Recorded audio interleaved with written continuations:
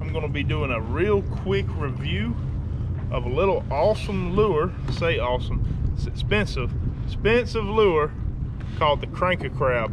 Most of y'all have already heard about the Cranka Crab, but we got it out here.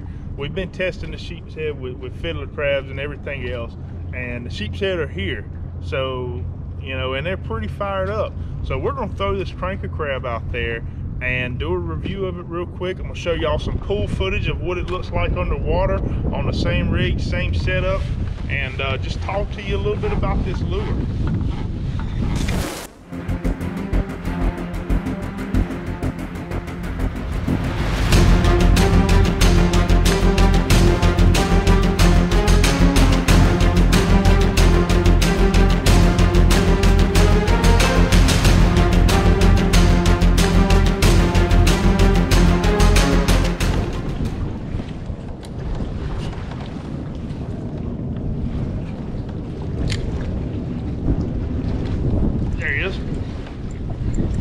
Good one. Yep, that's a decent one.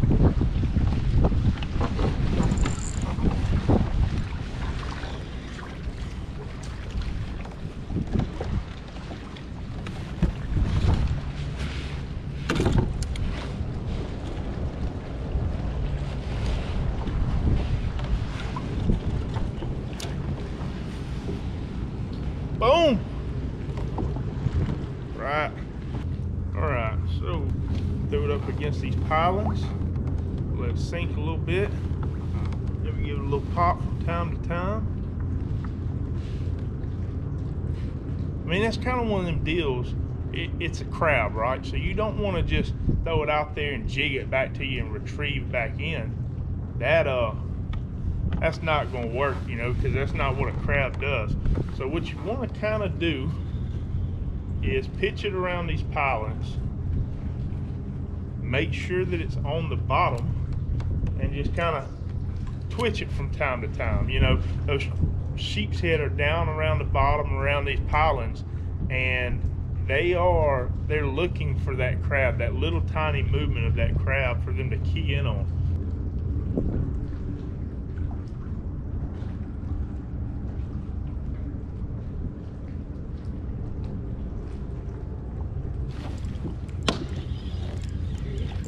There he is. All right, the little guy.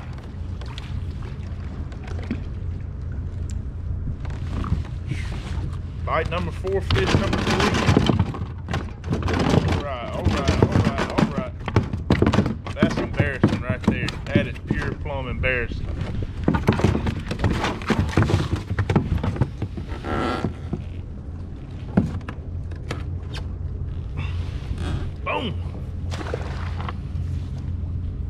That I'm running this Cranka Crab on uh, is a seven foot medium uh, fast action rod running with 20 pound Suffix 832 braid on 20 pound fluorocarbon leader tied on with a Unity uni knot and then an improvised clinch for the knot onto the lure.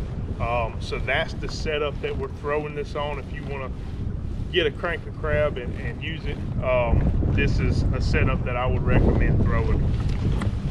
There he is. There he is. That's a good one. Come on. Come on. Come on.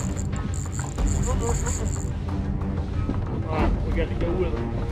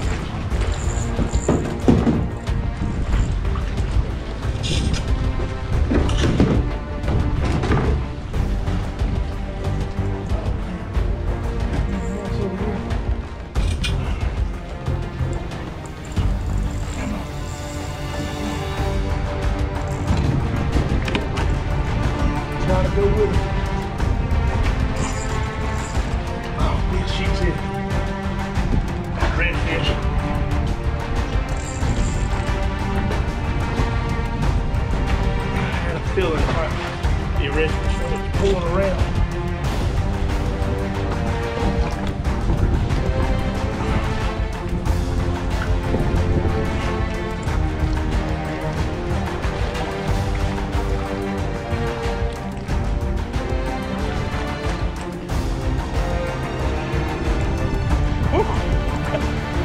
Got him out and open. We home free now.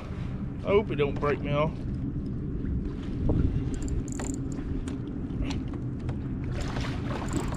Man, choked it too. Dang it. Might not get that back.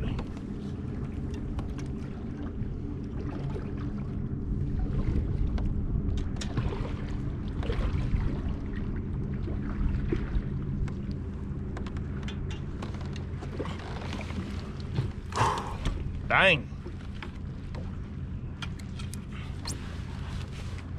Well, that thing about freaking worked me.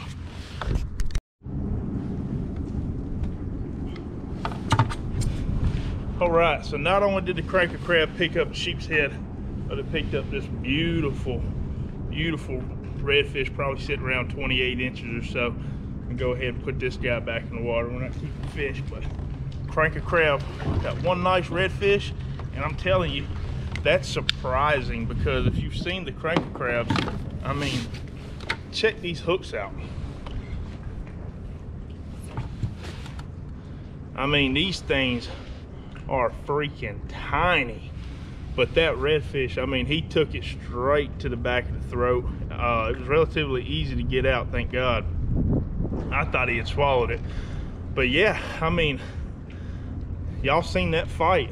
Hooks held up through it. So, I mean, that's pretty impressive, right? So, we're gonna drop back down and try to pick up the targeted species of sheepshead. So, see if we can't grab some. Just, just slow twitches. Matter of fact, if my kayak starts drifting, then I'm not even gonna reposition. I'm just gonna kind of maybe make sure that drift is slow and uh,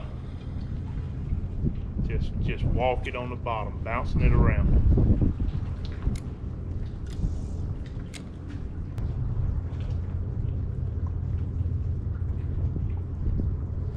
There he is.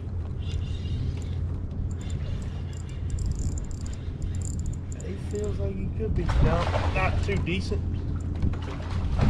Thought it was a little bit bigger. See if we can't get a boat flip on him. Bam!